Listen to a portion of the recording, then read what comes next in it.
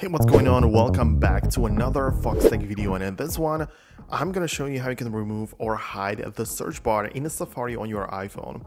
If you find that the toolbar at the bottom of Safari is kind of annoying or distracting, there are a few ways how you can manage it to a degree, so let's just get started. At first, let's talk about how you can hide the toolbar in a Safari. In iOS 16, Safari has introduced a tool toolbar at the bottom of the screen. While some users find it convenient, others find it a little bit annoying, but to hide this toolbar and enjoy a full view of your web page, open a Safari and navigate to any website. Then tap on the AA button located on the left side of the search bar. From the menu that appears, make sure to select Hide Toolbar. This will hide it, giving you a cleaner, full screen view of the web page you're browsing.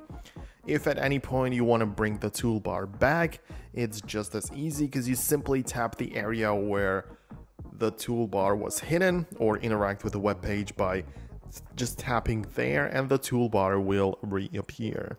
Now, obviously, this makes it very convenient to toggle between a full view and having the toolbar available when you need it. Now, if you prefer the toolbar to be at the top of the screen, similar to the older versions of iOS, there's an option for that too. Again, tap on the double A button in Safari and select Show Top Address Bar. This should move the top bar to the or the search bar to the top of the screen. In case you don't find it for whatever reason, you can also just go to the settings of Safari and switch it there with a clear view and like switch there. So you can also do it this way.